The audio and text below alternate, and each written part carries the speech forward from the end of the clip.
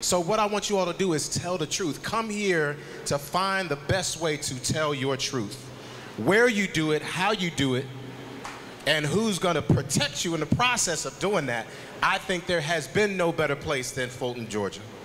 Fulton County, Georgia has demonstrated that, at least personally to me. And if you look at some of these flyers, we can go down the list. I'm seeing the resident, Falcon Winter Soldier.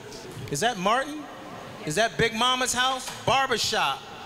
Fast and Furious. Ozark. Matter of fact, they were neighbors to us when I was filming Greenleaf. They literally were filming next door to us, right?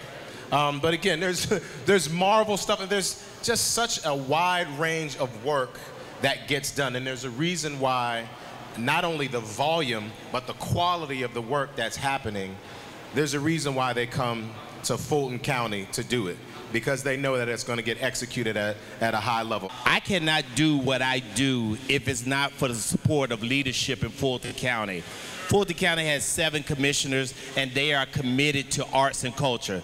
There's no other commissioner that is as much committed as our entertaining attorney, lawyer, friend, Commissioner Marvin Arrington.